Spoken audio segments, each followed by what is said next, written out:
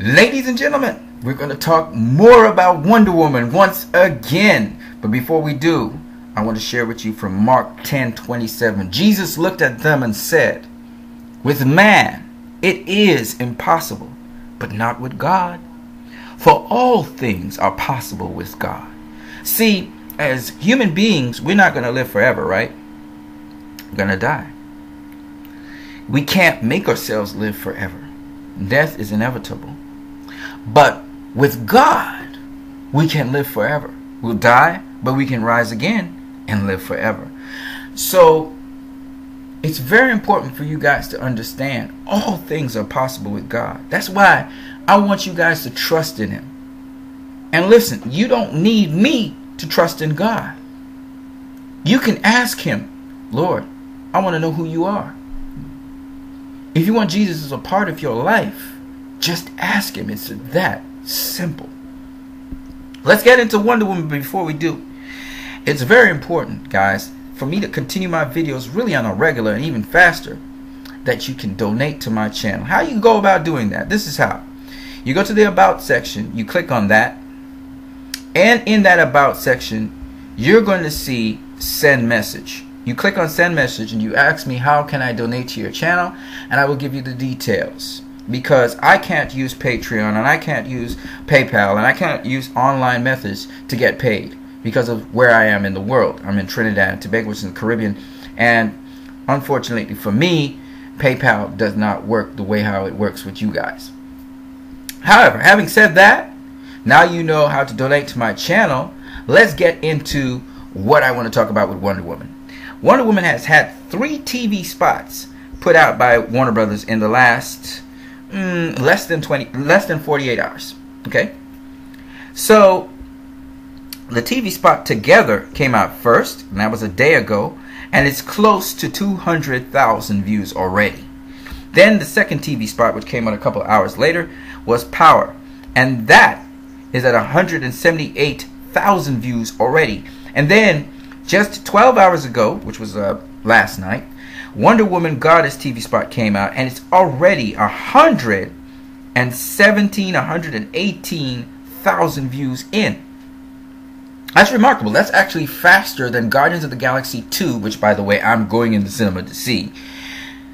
The reaction to that was it shows the immense interest in Wonder Woman. Now, Warner Brothers is doing an excellent job in their campaign in that they're not giving away the plot, they're not giving away the major villain. Um, in, in terms of seeing him in his totality, I think they've learned from Doomsday, and I hope they do not spoil that. I hope they don't spoil the main villain for Justice League, which is Steppenwolf. We can see signs, we can get teased about him, but please don't show him. And the same thing for the Wonder Woman movie, in which you can get teased with uh, Ares, but please don't show Ares. That would be stupid, you know. Then why why am I going forward to look forward to seeing Wonder Woman fight Ares? I don't want to see that. So my interest is very stoked. If you guys are very interested in Wonder Woman, great. But this is it's actually getting more and more. There's more and more interest generated with each TV spot. The first one, it didn't even get to within I think the the, the, the first 24 hours. It didn't even get to 100 million views. I think it was 90 something uh, thousand views. I mean, 100,000 views, sorry. the second TV spot got past 100,000 views, barely. I think it was 104,000 views. This TV spot hasn't even met a day yet, 24 hours. And it's already passed 100,000 views, showing you just how much interest it's piqued for Wonder Woman. So Warner Brothers is doing an excellent job of these TV spots. They're giving little aspects of Wonder Woman, that she's a goddess, that is, she's half human, half god you know, showing her power and showing her relationship with Steve Tre- Trevor, uh, how she has to be kind of undercover in the man's world.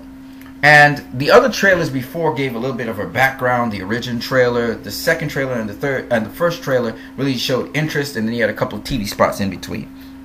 Most of there are little specks of new material in there.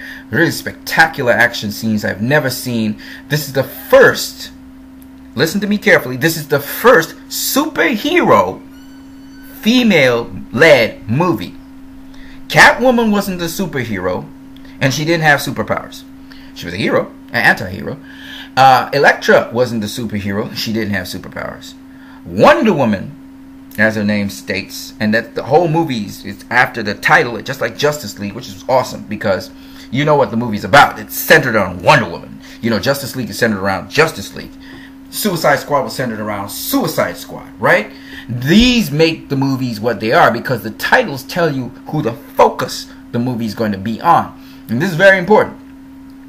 The focus is on Wonder Woman. It's not on Ares. It's not on Steve Trevor. It's not on the people or satellites around Wonder Woman. It's on Wonder Woman. Man of Steel was focused on Man of Steel, right?